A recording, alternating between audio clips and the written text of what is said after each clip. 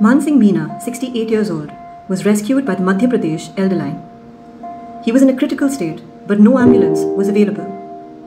Our team helped him get timely medical support and became the family he so desperately needed.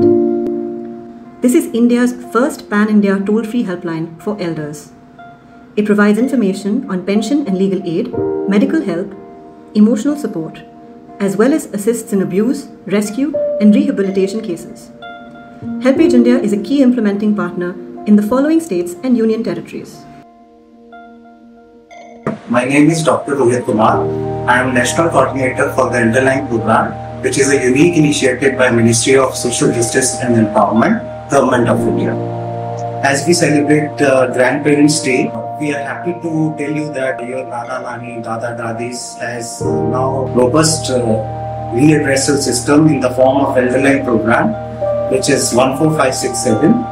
And uh, remember that we are just a caller.